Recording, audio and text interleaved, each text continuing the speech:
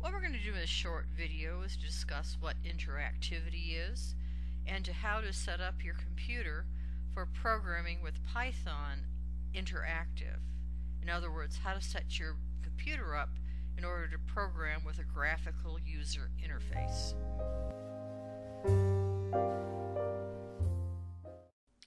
In computing, interactivity is the way that people use computers as well as the ways in which the computers respond to what people do.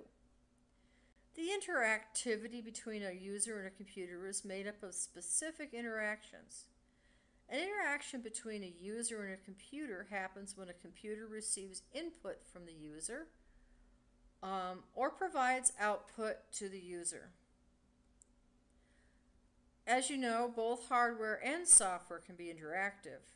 And the more interactive something is, the more responsive it becomes to the person who uses it. So that's what um, interactivity is. And um, the reason that we use it is because this is the modern way that we interact with our computer. We've gone all the way from um, writing words on a screen to pushing with things with a mouse to uh, pushing buttons physically on the computer. So interactivity is a modern way of doing things. So we're going to learn how to use it in Python as well. It used to be that computers were not interactive at all. As you can see here in the illustration, this is how people used to interact with computers. And still sometimes you'll see this um, when you work with certain programming languages. You know, you want to get under the hood and work on a computer. A lot of times you'll go back to what we call the dot prompt. But today, um, we use a graphical user interface, a G, uh, what's called GUI. This is all of the windows, buttons, menu items, icons, and dialog boxes a computer user is going to interact with, right? Interactivity requires some kind of an interface. And that's why a graphical user interface is very effective. So an interface is a specific method that your computer interacts with you and you with the computer and the way you use an operating system or a program. GUIs usually use a pointing device that allows the user to click or touch items on the screen, such as compared to the text-based command line interface, and that only allowed your user to type commands with a keyboard. So what the benefit of using a Windows style interface over here is that um, your user can click on things with the mouse. So um, IDLE and Turtle and the Turtle pro program use a GUI interface. So in order to use a GUI interface, we have to prepare IDLE for interactivity.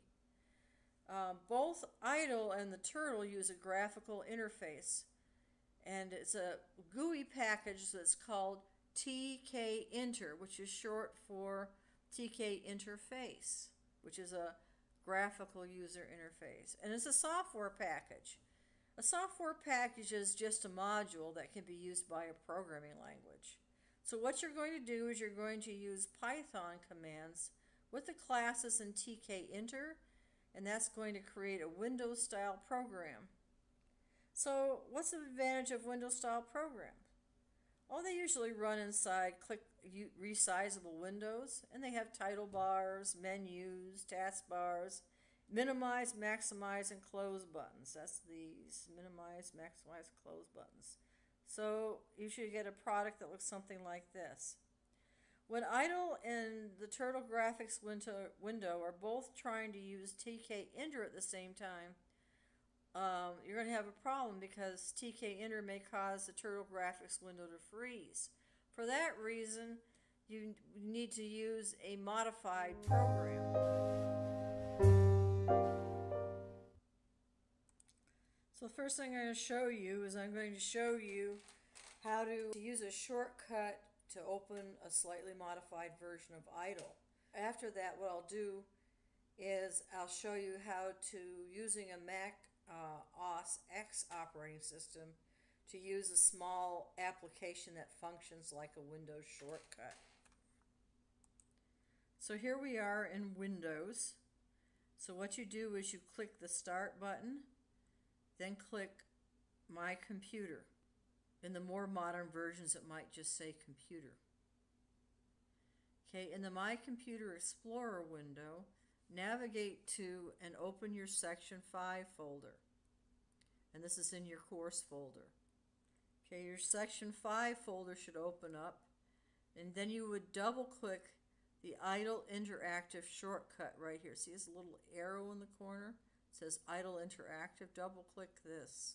You should see the Python shell pop up like this. And it should say no subprocess. You know, if this is what happens, that's great. That's what you need. If not, um, then what you would do is this. You would right click the idle interactive shortcut, then left click properties. Then you would click the start menu, then click my computer, or an old in a newer version it would just say computer. Just so make sure you're leaving the idle interactive property window open. You're going to use it again.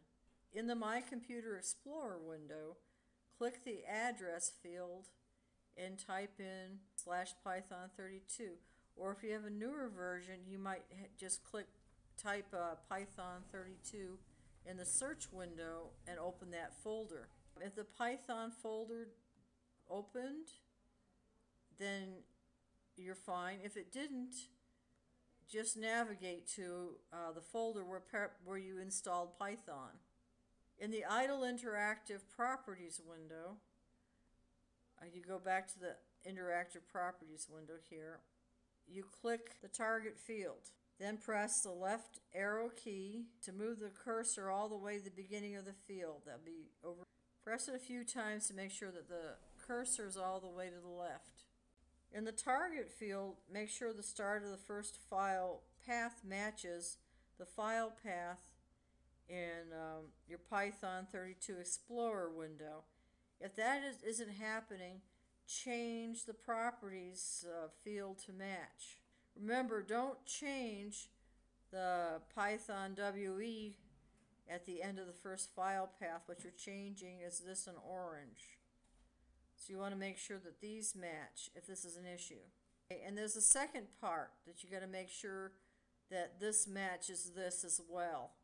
So if you make those two changes, if there's an issue, um, that should fix it. If not, call me and I will help you with this.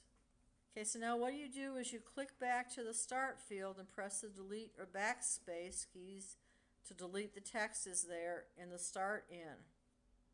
You come down here and click OK. So if you get an error message, click OK and then uh, check the steps, check for anything you might have missed. Or you can go to the class section and that will do it for you. In the Section 5 folder, double click the idle interactive shortcut to run it. And like I said, if idle still isn't opening, um, get help from me or someone else who's familiar with your computer. You can always use the unmodified version of idle to write the code for this section, but you won't be able to run it. You need the shortcut to make it work. So that was the instructions on how to prepare your idle for Windows Explorer. Now I'll show you how to prepare idles for your Mac. The way you do it with the Mac is you open your Section 5 folder, and this is in your uh, resources underscore Mac underscore OS X uh, underscore 10 underscore 6 folder. Um, just what you need to do is double click the idle interactive application to run it come in here, open it up, and double click this to run it. Okay, if you see this when you open it up, that's the idle shell. So if idle doesn't open up, uh, just get just call me and I will help you open it, okay?